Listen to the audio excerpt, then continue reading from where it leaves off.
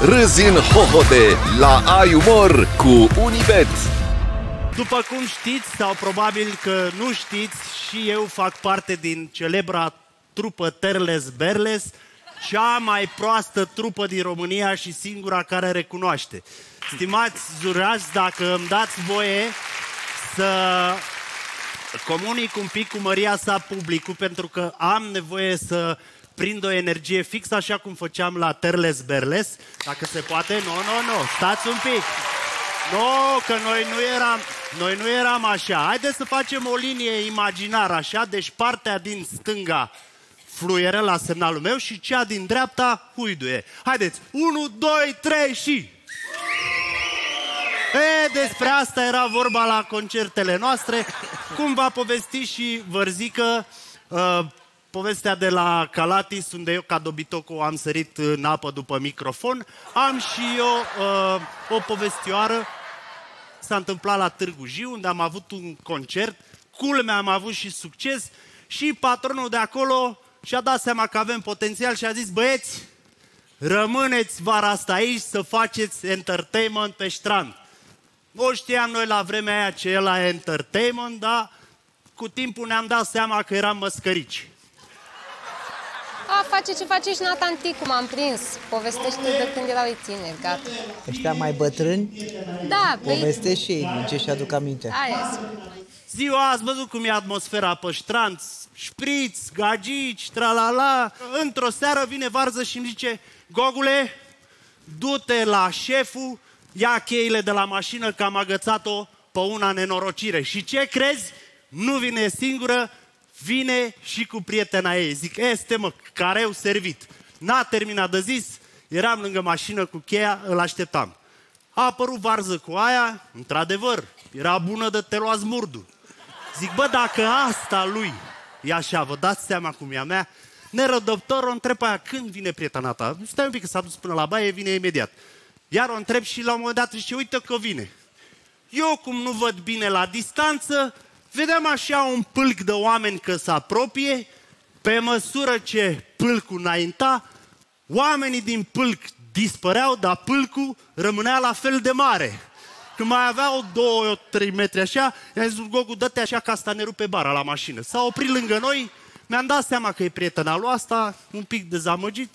Ce era să fac? Zic, aia o fac pentru vărzică.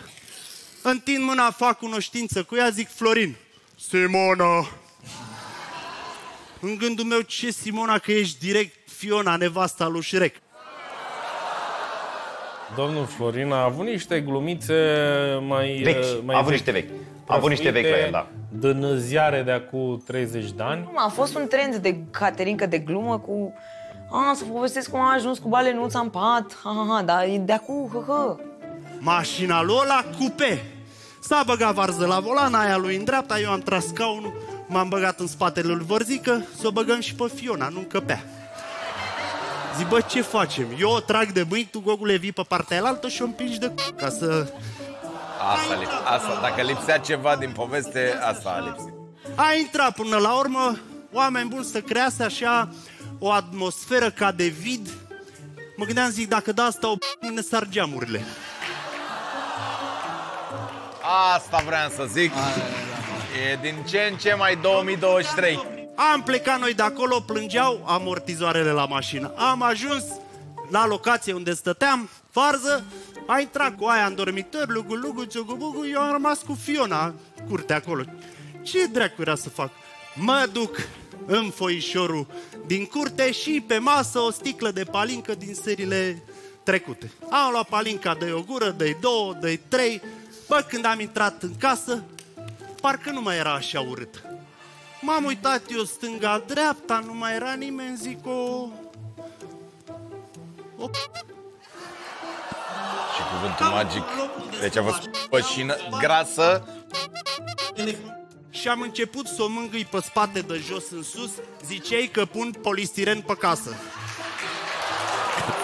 De ce te-ai dus cu ea dacă nu-ți place? De ce ai ajuns acolo? Înseamnă că ești bălan rău de tot. Mare bălan. De ce ajung oamenii în situațiile astea? Și zice, hai, du-te și zile la aia să vină mai repede că mi-e somn, mi-e frig și vreau să mă încă acasă. ți-e somn, ți-e frig, stai așa. M-am dus repede, am luat palinca din curte, zic, dă o palincă.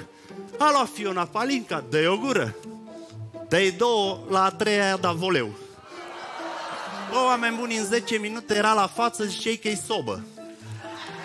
S-a ridicat din pat și a scos fusta, a aruncat-o pe pat, zicei că pusese mama e macatul. O scanam așa de jos în sus, zic că o iau între picioarele ei. Când cobor cu privirea în zona inghinală, mare bișon maltez și ieșise pe după chiloți. Bișor Zic, maltez în doliu, nu? Da, zic, mă mănâncă asta, gogule. La care ea, uh, încins așa, zice, ia mă. Păi cum steau, ce sunt stivuitor? Dacă nu mă iei, te iau eu. Zic că oricum nu mai am nicio șansă. M-a luat Fiona, mă simțeam ca uh, uh, puiul de găină sub cloșcă. nu mai puteam să respir. La un moment dat îmi zice ea, te superi dacă între noi vine și mitică. În gândul meu, poate să vină oricine, numai să ia o gură de aer. A întins mâna pe, ah. pe noptier, Cine era mitică? a scos Hai să un vezi. mare dildo și de atunci vă jur că nu mai țin minte nimic, dar și în ziua de azi mă ustură. Vă mulțumesc, eu am fost uh, Maxineanu. Râzi în hohote la Ai Umor cu Unibet.